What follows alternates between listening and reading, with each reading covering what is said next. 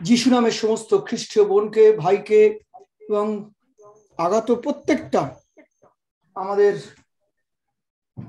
এই গৃহমণ্ডলীতে এবং ঈশ্বরের গিয়ে স্বাগত জানাই। ঈশ্বরকে ধন্যবাদ যে আমাদের খ্রিসমাসের অঙ্গে যখন আমরা পৌঁছেছি, সেই সময়টা আমরা দেখেছি যে প্রভু আমাদের কীভাবে আশীর্বাদ ধন্য করেছেন। আর তাই আজকে অন্য যখন আমরা দাঁড়িয়েছি সেই শান্তির ঈশ্বর যিশুর সমস্তভাবে আশীর্বাদের মধ্যে আমরা দাঁড়িয়েছি। ঈশ্বরকে ধন্যবাদ জানাই যে আমরা বছরের শেষে এক গৃহ পেয়েছি, যেখানে আমরা দৈহিকভাবে সহভাগিতা করতে পারি। দৈহিক এবং আত্মিক দুটোর সংযুক্তর মধ্য দিয়ে আমরা প্রভুর সমস্ত নামকে উন্নত এবং গৌরব দিতে পারি। আর তাই আমরা যে আশীর্বাদ গতকালকে পেয়েছি, সেই আশীর্বাদের লগ্ন থেকে আমরা আজকে এই শেষ রোববার এই মাস এবছরের দু হাজার একুশ সালের সকলে আমরা যারা উপনীত হয়েছি, স্থির করেছি যে আজকে প্রভুকে ধন্যবাদ দেবো। কারণ প্রভু গত বছরটা এবছরের শুরুতে ছিল সম্পূর্ণ মানব চক্ষুর আড়ালে আমাদের প্রার্থনা করতে হয়েছে অনলাইনে। কিন্তু প্রভু, তোমাকে আমরা আজকে ধন্যবাদ দেব। পৃথিবীর নানা সমস্যার মধ্যেও প্রভু, তুমি আমাদেরকে আজকে সাহায্য করেছ। আমরা দৈহিকভাবে তোমার সাথে প্রার্থনায় উপনীত হতে পেরেছি। আর আজকে যারা দ্য হাউস অফ গড চার্চে যা যিশু ডাকের মন্ডলীতে যারা এসছেন প্রত্যেককে, ঈশ্বর তার সেই আত্মিক আশীর্বাদের সূচনা করেন যা অব্যাহত থাকবে আগামী দু হাজার বাইশ সালেও। আমরা আজকে স্মরণ করব যে ঈশ্বর কীভাবে আমাদের বয়ে নিয়ে এনেছে। আজকে যখন উপাসনায় এসছি, উপাসনার লগ্নে আমাদের স্মরণ করব আমাদের প্রভুকে। যা কোনো দ্রব্য বিশেষ দিয়ে নয়, আমাদের হৃদয়ের সমস্ত চোখের জল দিয়ে তার চরণকে ভেজাবো, যাতে আমাদের সারা বছরের অবক্ষয়, সারা বছরের অনাচার, অবিশ্বাস, ভুল ভ্রান্তির ক্ষমা বছরের শেষ প্রান্তে এসে আমরা তার কাছে পেতে পারি এবং নিশ্চিত করতে পারি আমাদের এই ভুল ত্রুটিগুলো ওনার থেকে ক্ষমা নিয়ে গত সামনে বছরে আমরা আবার সেই উপাসনা শুরু করব আগামী রোববার। তাই আজকে বাস্যে বাক্যের অংশ হচ্ছে, চোখের জলে আমার চরণ ভিজিয়ে আছে। এ প্রভু আমাদের যিশু এই কথা বলেছিলেন। সেই চোখের জল নারী যিনি মুখে নয়, তার হৃদয়ের সমস্ত সংক্ষিপ্ত ভাষায় তিনি অর্পণ করেছিলেন নৈবেদ্য সেই যিশুর চরণে। প্রকৃত উপাসনা করেছিলেন। আর তাই যিশু তাকে বলেছেন, বিশ্বাসের পরিত্রাণ ও শান্তিতে তুমি প্রস্থান করো। আর আজকে আমরা তাই এ বছরকে যখন শেষ করতে চলেছি, আমরা এখান থেকে তার বিশ্বাসের মধ্য দিয়ে পূর্ণ পরিত্রাণ আর একবার তার কাছ তার মধ্য দিয়ে নেব এবং আমরা যে শান্তি নিয়ে প্রস্থান করব, প্রভুর শান্তি, সেই শান্তি নিয়ে সামনে বছর আমরা এই স্থানে প্রবেশ করব এবং আমরা ঈশ্বরের উপাসনা করব। আমরা জানি যদি পড়ি মতিলিখিত ২৬ মার্ক সুসমাচারের চোদ্দ, লুক সুসমাচারের সাত, যৌন অধ্যায় যৌনের বারো অধ্যায় যদি দেখি, প্রতিটাতেই এই ঘটনাটা উল্লেখ করা রয়েছে। ঐতিহাসিকভাবে নয়, শুধু আত্মিকভাবে এবং প্রভুর অকৃত্রিম দয়ার কথা এখানে আমরা জানতে পারি। এক নারী যিশু সেই বেতনে শহরে গেছেন, যে শহরে আমরা জানি লাজারাসকে, লাসারকে উনি কবর থেকে জীবন্ত করেছিলেন। সেই শহরে উনি গেছেন। শেষ ওনার সমস্ত ক্রুশে যাওয়ার এক সপ্তাহ আগে যে ইহুদি জাতির উৎসব পালন শেষ হয়ে গেছে। আর সেখানে একজনের বাড়িতে উঠেছিলেন সিমন যিনি তখনকার ফরিসিদের একজন ছিলেন। সমাজে সম্ভ্রান্ত, তার বাড়িতে তার আহ্বানে তিনি গিয়েছিলেন। যেখানে আমরা দেখি বাক্যে বলছে যে লাজারাজ যিশুর পাশে বসে রয়েছেন এবং তাকে দেখার জন্য ওখানে ভিড় উপচে পড়েছে উপচে পড়েছে। আর তাই লাজারাজের দুই বোন, এক মেরি, মরিয়ম আর মার্থা দুজনই রয়েছে।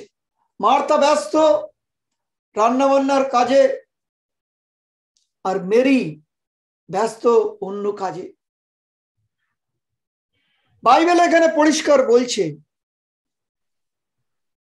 যে, যিশু যে লোকটার বাড়িতে গিয়েছিল, সিমন তার বাড়িতে লাজারাজ এবং এদের উপস্থিতি কেন? সেটা সম্ভবত লাজারাজ যিশুর খুব কাছের বন্ধু ছিলেন এবং সেই সুযোগে অনেকে সেখানে ছিলেন তার পরিবারে লাসারের পরিবারে।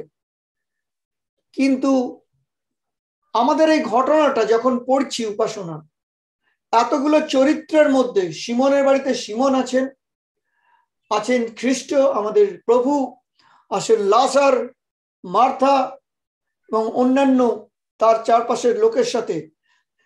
ঈশ্বরের পাশে নয়, ঈশ্বরের সামনে নয় শুধু, ঈশ্বরের চরণেতে রয়েছেন এক নারী।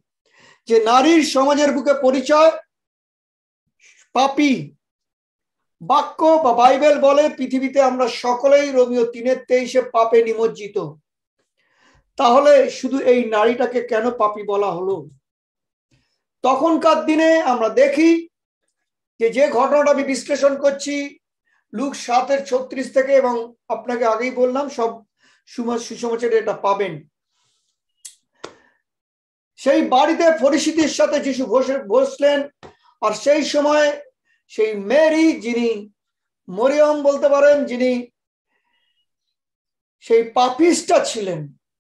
কেন তাকে পাপিসটা বলা হতো? সমাজের চোখে তার কাজ ছিল জঘন্য। তার চরিত্র, তার সম্পূর্ণ, সেই সমাজের সরল জীবনযাত্রা বা সত্য জীবনযাত্রা তার মধ্যে ছিল না। তাই মানুষের চোখে সে পাপি। মানুষ তারা যারা চারপাশে আর তারা নিজেদের পাপি বলে গণ্য করতো না। কিন্তু বাইবেল এখানে উল্লেখ করেছে এই কারণে যে তার পাপটা এতটাই নিমজ্জিত এতটাই নিমজ্জিত অন্যান্যদের থেকে। আর তার এই জীবনটাকে সে যখন এই ধরনের লোকেদের মাঝে এসছিল, সকলে রে রে রে রে করে উঠেছিল। সে কি করছিল? সে কিছু কাজ করছিল। আমাদের প্রভুর চরণে বসেছিলেন। বসে সেই শ্বেত পাথরের আমরা জানি, যদিও এই অংশটা পাবেন না, জহুনে গেলে পাবেন। প্রথমে উনি জল দিয়ে পাটা ধৌত করেছেন, তারপর নিজের কেস দিয়ে সেটাকে পরিষ্কার মুছে দিয়েছেন। কেশ হচ্ছে নারীর সৌন্দর্য। সেই সৌন্দর্য বা নারীর যা কিছু আছে তা প্রভুর কাছে উনি যখন পুচ্ছেন উনি তাকে অর্পণ সাবমিশন করছেন, নিজেকে সমর্পণ করছেন। আর তাই সেই পা পোছার পর সে তেল দিয়ে, তা অভিষিক্ত করতে গেলে মাথায় তৈল দিয়ে দিতে হয়। তেল দিয়ে উনি তখন তাকে অভিষিক্ত করছেন। আর এই পাটা কি করছেন? চোখের জলে ভিজে গেল, চোখের জলে। কেন? কেন আজকে আমাদের এখানে দাঁড়াতে হয়? মরিয়মের থেকে আমরাও কত বড় পাপি ছিলাম, এখনও অনেক ভুলের ভ্রান্তিতে ভরা। আজকে উপাসনায় সেই চোখের জলে আমাদের যিশুর চরণকে ধুতে হবে। সেই পাপিস্ট স্ত্রীলোকের কোনো ক্ষমার যোগ্যতা সমাজের বুকে অন্তত ছিল না। দয়া পাওয়ার তার কোনো যোগ্যতা ছিল না। পৃথিবীর লোক তাকে ঘৃণার চোখে দেখত। এটা কি ধরনের কাজ? আমাদের প্রভু কি বলেন আমরা শুনি। যখন এটা দেখল, যার বাড়িতে নেমন্তন্ন করেছিল সেই ফরিসি বা পণ্ডিত তখনকার দিনের উচ্চ পদস্থ লোক, তিনি মনে মনে ভাবলেন, কি ভাবলেন? যে বলল, যিশু যদি জানতেন, যিশুকে সে কি ভেবেছে? একজন ভাববাদী বা শিক্ষক, ধর্মগুরু। ঈশ্বর হিসেবে তখনও বোঝেননি। বলছেন যে এই পাপিষ্ট স্ত্রী লক্ষ্যে যিশু পা ধরতে দিচ্ছে তো পাপি! কারণ তারা জানতো পাপ মানুষের গায়ে লেগে থাকে। চামড়ায়, জামায়, মুখে, হাতে, চোখে, মুখে। কিন্তু পাপ যে মনে লেগে থাকে, হৃদয়ে, এই সত্যটা তারা জানতো না, জানলেও অন্ধত্বের জীবনে চলতে চাইতো। আর তাই যিশু হচ্ছেন কি? ইংরেজিতে একটা শব্দ আছে অমনি সিয়েন্ট তার কথাটা বাংলায় ব্যাখ্যা হলো, উনি সব কিছু জানেন, সব জানার ঈশ্বর। আর তাই ওই ভদ্রলোক যে বাড়িতে গেছেন, উনি বুঝতে পেরেছেন যে এই যিশু এই কাজটা কি করল? মনে মনে, উনি বলেনি মুখে। যিশু সব জানার মানে মনের মানুষের প্রতিটা কথা ধরেন, বোঝেন, জানতে পারেন, তার ব্যাখ্যা এখানে দিচ্ছে। সেই মুহূর্তে যিশু তাকে বলল যে সিমন তোমাকে আমার কিছু বলার আছে। যিশু প্রথমেই বলেনি কিন্তু, তাকে বকেনি। তুমি একে পাপি ভাবছ, তুমি কি কম পাপি? না। যিশুর ভালোবাসা, যিশুর বিচক্ষণতা ন্যায়পরণতা বিশ্বাসযোগ্যতা মানব জাতির মতো নয়। তাই তার গুণে সে কাজ করছে। সে বলছে যে, শোনো, দুজন মহাজনের কাছে ঋণী ছিল। মহাজন মানে যারা সুদে টাকা পয়সা ধার দেয়।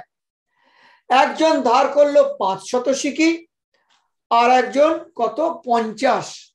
মানে পাঁচশো আর পঞ্চাশ। সব টাকার, তোমরা যদি টাকার মূল্যায়নের সুবিধা ভাবতে পারো। কাউকে পাঁচশো টাকা মহাজন ধার দিয়েছে, কারোকে একজনকে পঞ্চাশ দিয়েছে, দুজন ঋণী। তো তাদের পরিশোধ করিবার সঙ্গতি না থাকায় উভয়কেই ক্ষমা করিয়ে দিলেন। বলছে যে দুজনেই সেই মহাজনকে টাকা শোধ দিতে পারল না। মহাজন বলল, ঠিক আছে, তোমাদের মাফ হলো। বলছে, এই দুজনের মধ্যে কাকে বেশি অধিক প্রেম করলেন বা করিবে? তখন সেই ফরাসিটা যে মনে মনে ভেবেছিল যিশু কেন এই মহিলারকে পায়ে হাত দিতে দিচ্ছে, তাকে তখন সে উত্তর দিচ্ছে, আমার বোধ হয় মনে হচ্ছে যার বেশি, তার মানে পাঁচশো টাকা যার ক্ষমা করা হতো, যাকে পাঁচশো টাকা ফেরত দিতে হতো সুৎসহ সেই বেশি ক্ষমা পেল।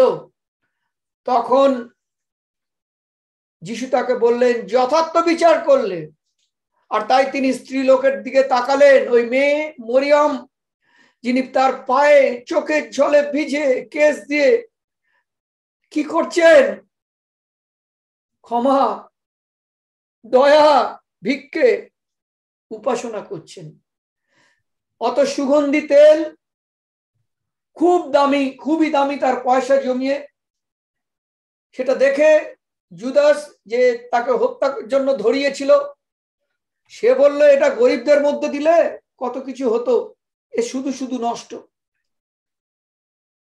ওখানে যারা বসেছিল, তাদের চোখ যিশুর ওপর ছিল না, ছিল মহিলাটার জীবনের ওপর, বা মহিলাটা কি করছে, কিন্তু মহিলার হৃদয়ের ওপর চোখ একমাত্র প্রভু যিশুর ছিল। আর তাই যিশু তাদের বলেছেন যে, দেখো, গরিব দুঃখীদের দান করার অনেক সময় রয়েছে, কিন্তু তোমার প্রভু এই পৃথিবী ছাড়তে চলেছে। আর তাই অসাধারণ। এখানে আমরা দেখি যে ওই মহিলাটা শুধু যিশুর পা ধোয়েননি চুমু দিয়ে দিচ্ছিলেন, চুম্বন করছিলেন এবং বারবার তেল দিচ্ছিলেন। তখন বলল, যিশু তাকে, যার বাড়িতে নেমন্তন্ন, সে যখন ওই মহিলাকে খারাপ ভাবছে, বলছে সিমন তোমার বাড়িতে ঢুকেছি, তখন পর্যন্ত তুমি আমার পা ধুইয়ে দাওনি, আমার পায়ে চুম্বনও করনি, বা তুমি আমাকে অভিষিক্ত তেল দিয়ে আমাকে অভিষিক্ত করনি। কিন্তু এই মহিলা যা করেছে, সেটা কিন্তু তুমি করনি। আর এই জন্য তোমাকে বলছি এই মহিলা তোমার থেকে অনেক বেশি পাপ আছে। তার ক্ষমা হয়েছে। কেননা এটার অধিক প্রেমের জন্য হলো। যাকে অল্প ক্ষমা করা হয়, তার অল্প প্রেম করে। আর পরে যিশু এবার আসল মহিলার উদ্দেশ্যে বললেন, মহিলা, এতক্ষণ কি করছিলেন? কাঁদছিলেন কেন? বলছে, প্রভু, এরা পাপি, এরা কি বলবে? আমি নিজেই বলছি, আমি যে কত খারাপ। তোমার চরণও আমার চোখের জল দিয়ে ভেজালো বোধ আমার এই শাস্তি মুকুব হবে না। যিশু বলছে, আমার সন্তান, তোমার হৃদয়ের জল আমাকে স্পর্শ করেছে। আর তাই উনি বললেন, তোমার পাপ সকল ক্ষমা হয়েছে। তখন তার সঙ্গে ভজিয়া ভজে যারা ছিল, তারা বলল, এ কে যে পাপ ও ক্ষমা করে? কিন্তু তিনি স্ত্রীলোককে বললেন, তোমার বিশ্বাস সেই তোমার বিশ্বাস করেছ যে এই এতগুলো লোকের মাঝে একমাত্র তুমি তোমার পাপের ক্ষমা চেয়েছ। আর সেই মুখে নয়, নিশ্চুপে তুমি আমার পদধুলিতে চুম্বন করেছ। নিজের কেস দিয়ে নিজেকে সমর্পণ করেছ। দ্রব্য দিয়ে আমায় ভূষিত করেছ, অভিষিক্ত করেছ। প্রকৃত রাজার জায়গায় আমাকে দাঁড় করিয়েছ। তোমার প্রভুর জায়গায় তুমি উপাসনা করেছ। প্রকৃত উপাসনা আমি আজকে গ্রহণ করছি। আর উনি বলে দিয়েছেন, মার্কের চোদ্দ অধ্যায়ের সুসমাচারে আমরা যদি পড়ি নয়ে, যিশু বলছেন, আমি তোমাদের সত্য বলছি, যেখানে যেখানে এই সুসমাচার প্রচার হবে সারা পৃথিবীতে, এই মহিলা যা করেছে সেটাও তার সমস্ত শরণার্থে বলা হবে। আজকে একটা পাপিষ্টা নারীর যার কোনো কৃতিত্ব ছিল না, মুখে পাপ স্বীকার করার ভাষা পায়নি, তার হৃদয়ে ছিল কনভিকশন হৃদয়ে ছিল অনুশোচনা। আর তাই চোখের ছলে আমাদের প্রভু শুধু দৈহিক পাপে ধৌত করেনি, তার হৃদয়কে সম্পূর্ণ আকৃষ্ট করেছিল যা প্রভুর দয়ার সিংহাসন থেকে নেমে এসছিল। তার জীবনের সমস্ত পাপের ক্ষমা শুধু নয়, অধিক ঈশ্বরের প্রেম লাভ উনি করেছিলেন। আজকে তার আর কারও ভাই বোন মরিয়মের পায়নি, কিন্তু এই নারী পৃথিবীর চোখে এক জঘন্য, নগণ্য ক্ষুদ্র পাপিষ্ঠা। কিন্তু সে জেনেছে পাপের ক্ষমা নিয়ে প্রভুর চরণে কীভাবে উপাসনা করতে হয়। তাই উপাসনা শুধু মুখ দিয়ে নয়, উপাসনার প্রধান অঙ্গ হচ্ছে হৃদয়ের অনুশোচনা, অনুতাপ আর সমস্ত ঈশ্বরের জন্য অনুগ্রহের প্রার্থনা। আর তাই যিশু তাকে বলেছিল, তোমার বিশ্বাস তোমার বিশ্বাস। দশ জনের বিশ্বাস দিয়ে নয়, দশ জনের প্রার্থনা দিয়ে নয়, তার নিজস্ব বিশ্বাসের জন্য। সে পরিত্রাণ পেয়েছে, পাপ থেকে মুক্তি পেয়েছে, আর তাই শান্তিতে প্রস্থান পেয়েছে। আসুন, আজকে আমাদের সারা বছরের যত পাপের জীবনযাত্রার মধ্যে আমরা না থেকেও ভুল করেছি, ভ্রান্তি করেছি, হৃদয়ের চোখের জলে তার হৃদয়কে স্পর্শ করি, মুছে দিই, যাতে আমাদের এই গৃহ, ঈশ্বরের গৃহের সমস্ত তার আশীর্বাদের সুগন্ধিতে ঘরটা পরিপূর্ণ হয়ে ওঠে, যাতে আমাদের স্বয়ং প্রভু আজকে আমাদের সেই বিশ্বাসের পরিত্রাণের মধ্য দিয়ে সেই এই পুরনো বছরটাকে প্রস্থান করতে পারি আমরা শান্তির মধ্য দিয়ে। আগামী রোববার যখন আসব সেই উপাসনায় সেই শান্তিকে নিয়ে আমরা প্রবেশ করতে পারি। তাই আসুন, আজকে আমরা এই নারীর মতো সেই উপাসনায় যাই। তাই ঈশ্বর আপনাদের বর্ধিত করুক, হৃদয়কে। ভেজান আজকে তার চরণ এবং হৃদয়, যা আমাদের আগামী দিনে ঈশ্বরকে এইখানে সেই শান্তির আশীর্বাদ নিয়ে প্রবেশ করাতে সাহায্য করবে। দিন সেই ধন্যবাদ যে বছরের শুরু যাই থাক, প্রভু আমাদের দুয়ার খুলেছেন এই গৃহতে আমাদেরকে উপাসনা করার জায়গা দিয়ে। তাই যারা এসেছেন, আজকে বা কালকে এসেছিলেন, প্রত্যেককে যে কি আশীর্বাদ হয়েছেন গতকালও বিশেষ করে, তার জন্য সকলে মিলে ঈশ্বরের কাছে চরণ ধোয়ান তার হৃদয়কে স্পর্শ করুন।